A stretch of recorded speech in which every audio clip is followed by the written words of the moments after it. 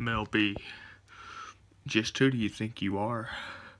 I was watching the recent episode of America's Got Talent, and I'm sitting, uh, I'm looking at the acts, and a certain act comes on that was X'd out very quickly, deservedly so. The guy was not a good dancer but Simon Simon's usually the greatest judge on the panel. He has the best remarks by far of anyone else on the panel. Uh, he's a an ace judge. He's a very great judge.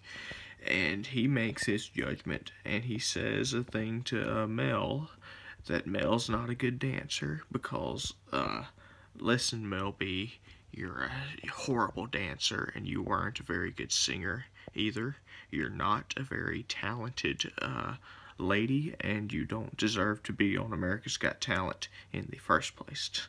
But what Mel B did to Simon made me angrier than just about anything has made me angry in quite a while, folks.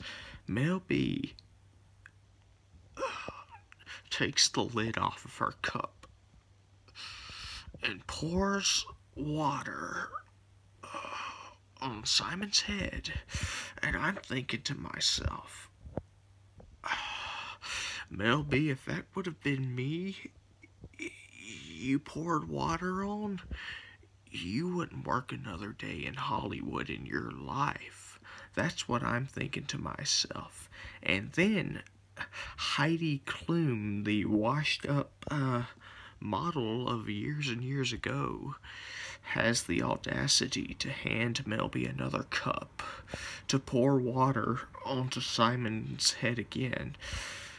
And I'm thinking to myself at this point, how can I find some dirt on these ladies and and get I want to get these ladies put in jail, folks.